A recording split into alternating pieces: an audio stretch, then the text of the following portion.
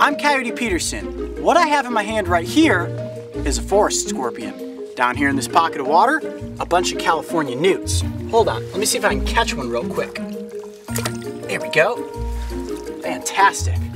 All right, now that I have both of these little creatures, let's talk about the differences between venom and poison.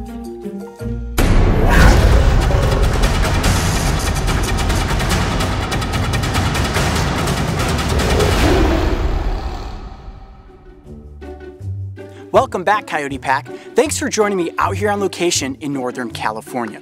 Now, a lot of you have written in with the question, Coyote, what is the difference between venom and poison? And that's a really great question. Now, the first major difference is in the delivery method. When it comes to venom, it has to be injected. When we're talking about poison, it has to be absorbed. Now, the way that you can be injected with venom is either through a stinger, a set of fangs, or a barb. Now, when we're talking about poison, it has to actually be absorbed into the body. This can happen in a variety of ways. It can either be ingested, like through your mouth, inhaled, like into your lungs, or absorbed with application to the skin, like poison ivy, for example.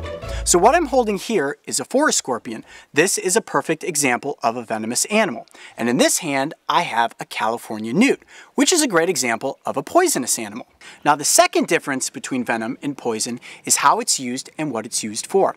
Now venom, for example, is usually used by predators to kill their prey, whereas poison is used by prey to help deter predators. First, let's talk about the forest scorpion. This is a great example of a venomous animal. Now the way that the scorpion catches and kills its prey is through a venom injecting stinger. What they do is grab onto their prey with these front pedipalps and then whap!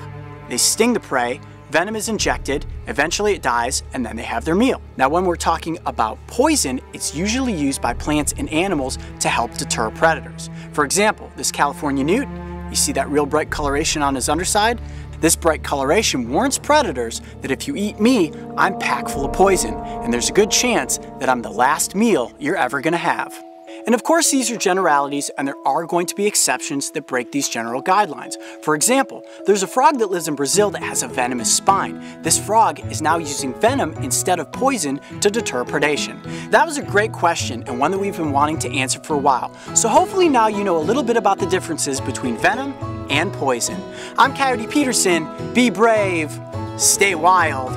We'll see you on the next adventure.